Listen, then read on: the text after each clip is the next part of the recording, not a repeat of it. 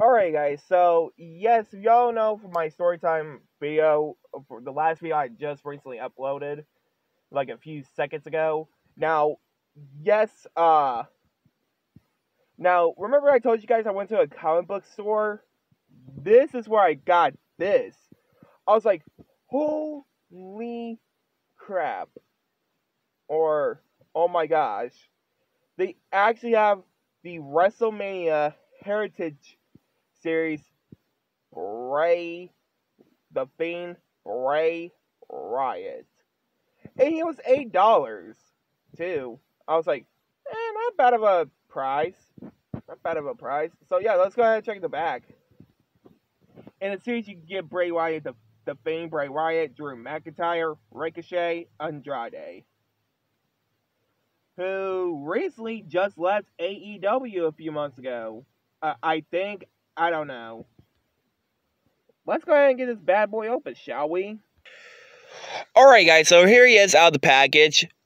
Look at that. Uh, pretty decent for almost a two year, three year old toy.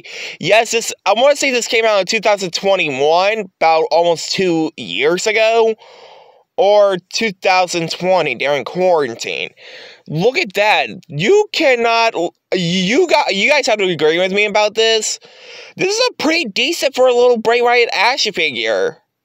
Which yes, uh uh who's who's excited for the Bray Wyatt versus LA Knight match tomorrow night at the Royal Rumble? Let me know down in the comments below. And yes, if y'all really want to know why I've been doing like my early February unboxings, because uh I'm just filming these like at the end of January, like some of the unboxings you recently saw me done, like the Crow on DVD, the RVD Pop Vinyl, that Niger cheapy plush I got from a uh, Hobby Lobby a few days ago. I just want to get it out there and put it, uh, my best of February compilation.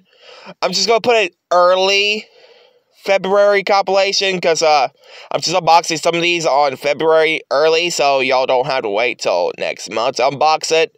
But, I mean, to see me unbox it and review it. But, yeah, guys, I hope you guys like, comment, subscribe. Let me in. Let me in.